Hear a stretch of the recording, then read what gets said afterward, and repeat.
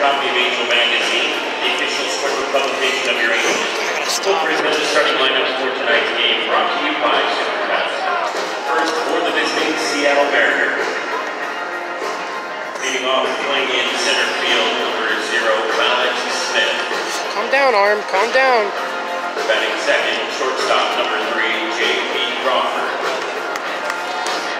Batting third, playing in right field, number 16, Domingo Santana. Batting fourth, the designated hitter,